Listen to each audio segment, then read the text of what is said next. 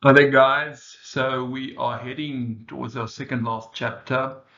In chapter 8, we're working with aerobic digestion, sometimes called the activated sludge process. The activated sludge just refer to the biomass that's performing the job of cleaning the water from subs the substances that contains a lot of carbon. So uh, you can go through the chapter and see what we're doing, but I just want to start with I don't know if you've ever uh, went out for fishing and what you might have noticed you've got a bucket. You've got a bucket and you you might caught a big fish you put it in one bucket and you catch a few small fishes and you put it, put it in another bucket. And then you know what happens is sometimes these fishes aren't happy when you put them in the bucket. And it's like they their mouths open and they're like they're very uncomfortable and you will see that it happens to the big one, while the small ones will be pretty happy swimming around no problem.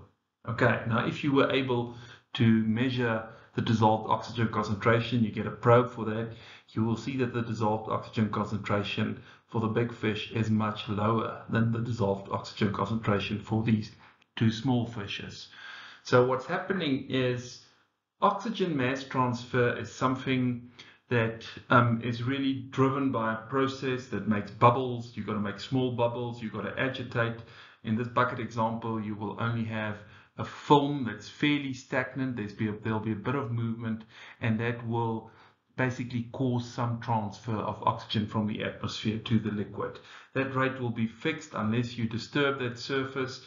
But if you don't disturb that surface, you or bubble anything through the water, you're going to have a fixed rate of oxygen transfer. Um, and then what happens is the big fish obviously requires much more oxygen than the two small fishes combined. And if you start using that oxygen, you are now using up what's in the water and now more's got to get replaced. Okay. And that replacement rate is such that it might not be fast enough and if it's not fast enough, your oxygen concentration in the liquid will drop and the fish will suffer. For the two small fishes, you will only be using a little bit of oxygen and whatever oxygen you use, if you compare it to the rate that you can replace oxygen via mass transfer, you will find that the fishes stay happy and that the dissolved oxygen concentration in the liquid remains relatively high, making the fishes happy. Now it's exactly the same with bioreactors. Let's move on to the next slide. So we always work with CX, our microbial biomass that's driving the whole process.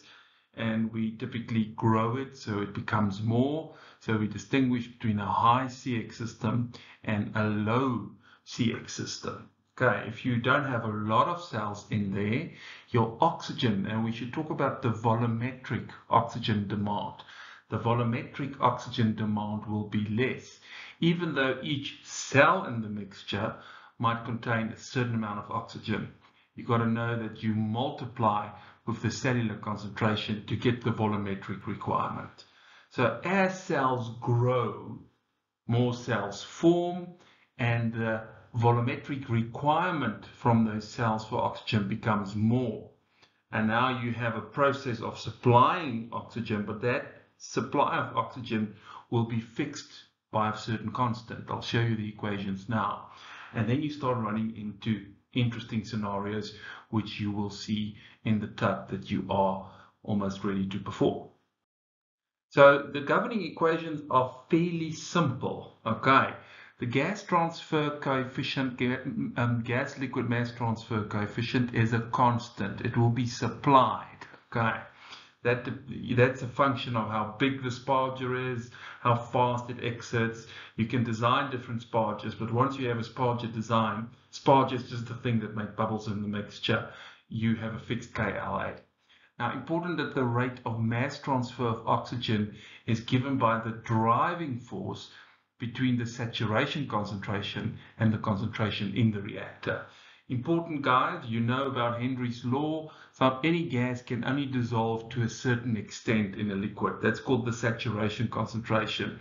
For oxygen, you'll see the value. It's about 7 milligram a liter in the notes. For oxygen, you can't dissolve more. You saturate it. Okay, so the concentration in the reactor will always be less than or close to saturation. It will vary somewhere between zero and full saturation. That's why we like to talk about the oxygen saturation. We just check the concentration of oxygen and divide it by the saturation. This gives us a fraction that's very indicative of where the system is at. If that fraction is big, if the O2 saturation is 99%, it really means that whatever is required, what's taking up oxygen, it's not really hindering the supply. The supply is much faster than the uptake. Therefore, the concentration of O will remain very high. Okay.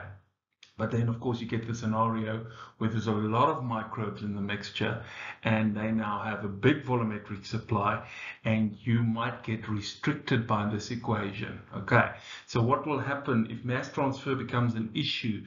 You will find that your CO will drop. Okay, you can see this is the driving force. So the bigger the difference between these two, the more will get transferred. Very important to see to see that. I'm going to say that again. The bigger difference between saturation and the concentration in the reactor of oxygen, the more oxygen can be transferred. So if you start needing oxygen, you'll see CO will drop. Okay, CO will drop so that the whole term become bigger. And then at, at its maximum, and this is very important, I can do this, at its maximum C0 will become, a C of oxygen, the concentration of oxygen will become zero. So the maximum possible um, driving force for mass transfer will be the mass transfer coefficient multiplied by the saturation coefficients. That gets to situations where the bugs are really consuming it all the oxygen concentration dives to zero and uh, you're at maximum mass transfer, but typically the bugs won't be happy because they're not getting all the oxygen that they require. Now let's have a look at the two fish examples. Um, the big fish will require more oxygen. So the question here is if we measure the oxygen concentration here and we measure the oxygen concentration here, it's important to understand the oxygen concentration here will be much lower than over here. Why is that the case? Well, it's because you have a big oxygen consumption within the mixture and therefore you need to supply.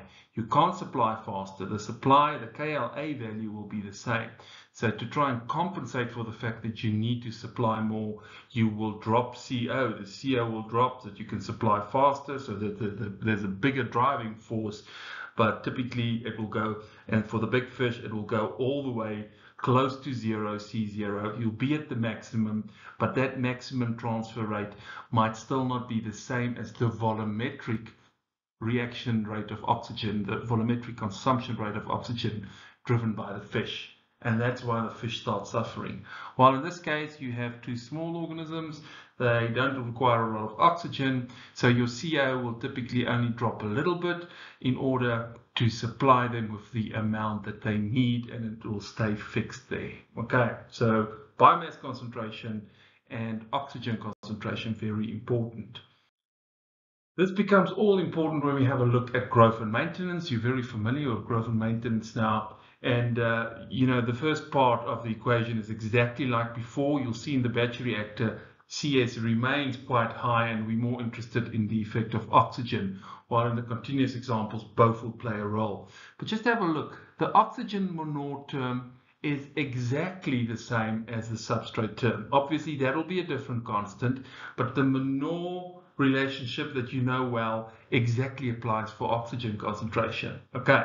Um, very important, and you'll note it in this work, is that the K, the oxygen Monod constant for maintenance will be much smaller than the oxygen constant, uh, the, uh, the um, Monod constant for growth. Okay, that is really because practically what happens to an organism if the oxygen really gets less it only it gets less oxygen in it's definitely going to spend all of its oxygen first on maintenance and if there's extra it's going to convert it to growth okay that's why if we make this constant very small even at low concentrations of oxygen you still have more or less a constant maintenance you'll be still close to the um, the theta max value. Okay, and you'll see that all of this in your calculations. I just want to take you through what you should get when you run the simulation. Have a look at what's happening over here. Uh, my oxygen concentration there was just starting and you can see I started at a value but it immediately settles to a higher value and then it starts dropping. The oxygen concentration starts dropping as the biomass concentration starts increasing. That's exactly the way we talked about the fishes. And then as the oxygen concentration becomes very low, you, re you reach that point of maximum mass transfer, you'll find that growth almost terminates.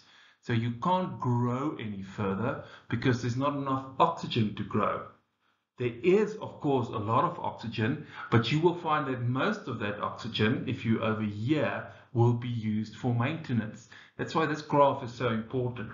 What I'm trying to plot here is the moles of ATP per cmol per day um, used for growth and used for maintenance. We just got to multiply mu with delta to get the same units. That's the energy, the, you know, the ATP amount.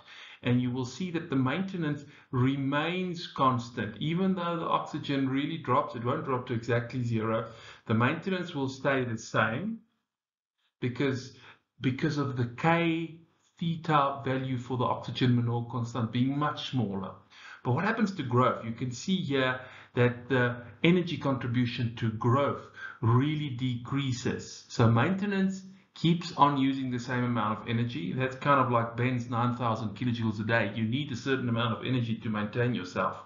But the extra that can be used for growth is now really getting sacrificed. Okay, you can see I was close to the maximum over here, but as my oxygen demand becomes a problem, my mu expression will drive me to a point where mu becomes really very low. And that's why the biomass of course if if, if mu is close to zero biomass won't grow. And that's how you interpret these figures. You'll generate them important to analyze understand and interpret them.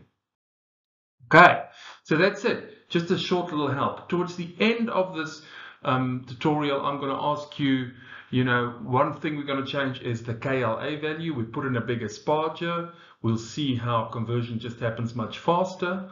Or the other thing we can do is we can change the dilution rate. If we change the dilution rate, we effectively changing the size or the relative size of the reactor. So if we assume that Q, the, the volumetric flow rate coming in is constant, a bigger D you know, or, or, rather I would say a bigger hydraulic retention time or a smaller D will imply a bigger reactor. That's important because we pay for big reactors. Smaller reactors are cheaper. So there's two things in this reactor that will influence the cost. It is how good your sparging is or how big your reactor is. And it's going to be, you know, your choice. What's going to give you the most money by making the sparger better or by making the reactor bigger because you're processing a certain amount of volumetric flow rate coming in. Very important to, to understand um, oxygen mass transfer as it has a huge effect on conversion and you will see it in, uh, in the specific tutorial. Good luck, enjoy it, we'll be there to help you.